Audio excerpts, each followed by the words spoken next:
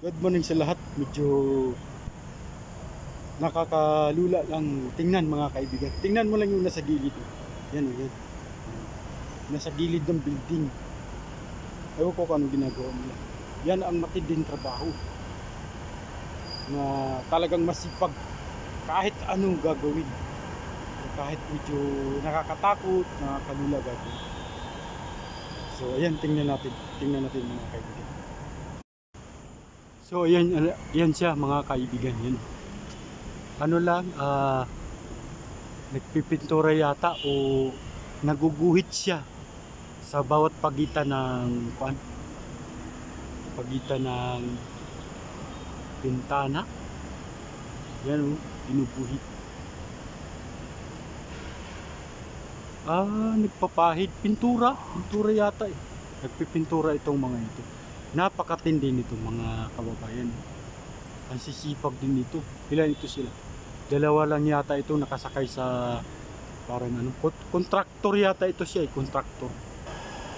Ah nagpipintura. Pinipinturahan nila yung ah wall yung pader. Kontrata yata to ng kontraktor. Yung pagpipintura nito sa building na dito lang to guys sa Pitwason, Cubao, Quezon City.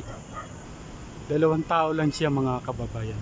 Yan o dito sa gumagawa nito ng building na ito mga kaibigan. Medyo nakakalula lang tingnan kasi mataas pa sa billboard yan yung kanilang area na ginagawaan. Ito yung building niya.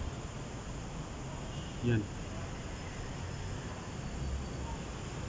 Ewan ko kung ilang palapak to palagi ko nasa mga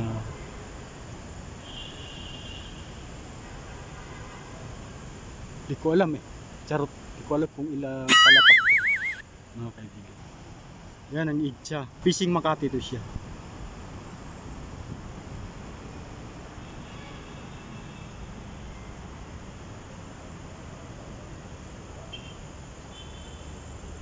So ayan, maraming salamat po. Bye-bye po, bye-bye po. God bless. Ingat po kayo diyan sa taas. Diyan sa gumagawa na 'yan. Ingat kayo mga kaibigan. Yan. Keep safe, keep safe. Bye-bye po, bye-bye po.